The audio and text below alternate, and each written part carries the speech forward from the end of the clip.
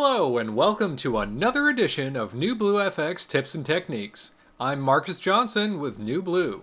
Recently, Matt Davis of Lifestage Films in Wilmington, North Carolina published a fun Trash the Dress video featuring local model Jen Treese.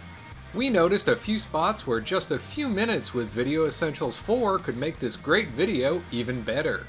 Jen is quite beautiful, but as is the case with all of us, high definition can sometimes be a little more detail and definition than we want it to be, especially in those close-ups of our skin. Today I'm going to show you how to use Skin Touch-Up to enhance your close-ups and make your subjects look as beautiful as they feel. When you first open Skin Touch-Up, you'll notice that there are just three main controls that we'll be working with. Color, sensitivity, and smoothing. First, we'll start by adjusting the color control. We'll want to set this to Jen's skin tone, so using the eyedropper tool is the easiest way to do this. Try to pick an area that's about midway between the brightest and darkest parts of her face. Next, we're going to use the sensitivity control to set the area of the picture that will be affected. And turning on the show mask option will make this a lot easier.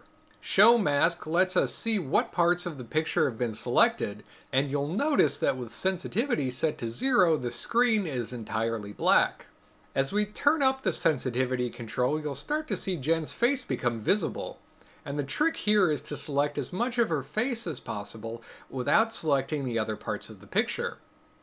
I think that's just about right. Now we'll turn off the show mask option and you'll notice that the video still looks like it did when we started. We need to turn up the smoothing control to make Skin Touch-Up work.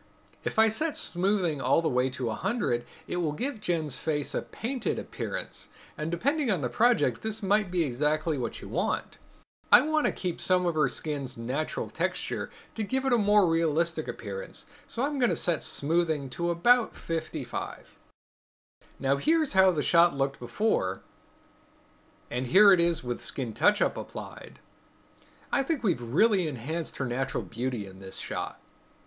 Once you've made the adjustments to Skin Touch-Up on one shot, it's usually just a matter of copying the same settings to the other shots that you want to use it on.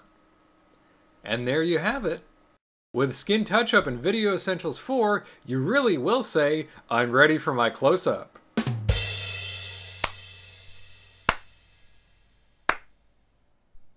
Well, maybe it's better I didn't go into comedy. For more information about Skin Touch-Up and the other Video Essentials 4 plugins, or to see more tips and techniques tutorials, just go to www.newbluefx.com. This is Marcus Johnson saying thanks for watching and learning about New Blue FX.